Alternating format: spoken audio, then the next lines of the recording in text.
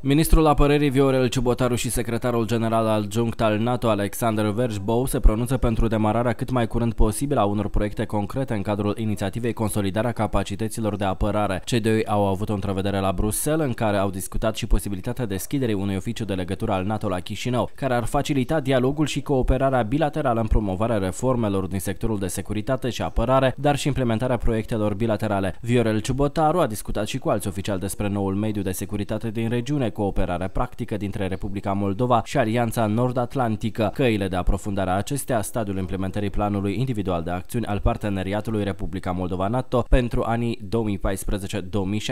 2014-2016, dar și a proiectelor în curs de desfășurare, anunță un comunicat al Ministerului Apărării.